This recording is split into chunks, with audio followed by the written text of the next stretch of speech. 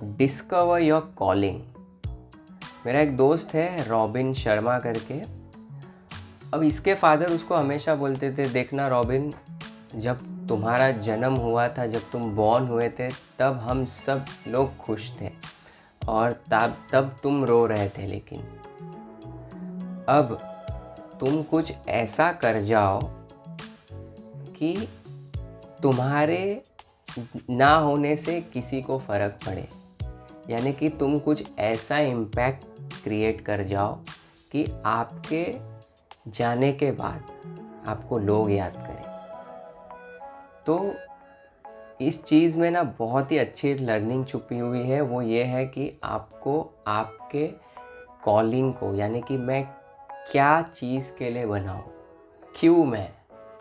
ये सवाल जब आप खुद से करते हो ना, तब आपको पता चलेगा कि क्या चीज़ आप करने के लिए बने हो?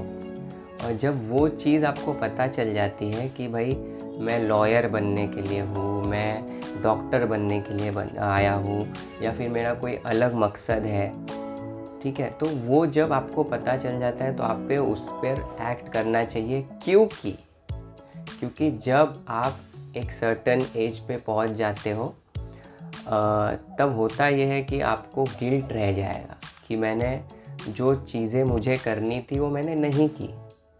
और जब ये गिल्ट हो जाएगा तो आपके पास जो पीछे के साल आपने जो निकल गए, वो वापस तो आने वाले हैं नहीं। तो इससे अच्छा ये है कि आप, आपको जो पसंद है, उससे इम्पैक्ट क्रिएट कर पाओ। तो आज की लर्निंग है डिस्कवर योर कॉलिंग आप किस चीज़ के लिए बने हो? Thank you so much bye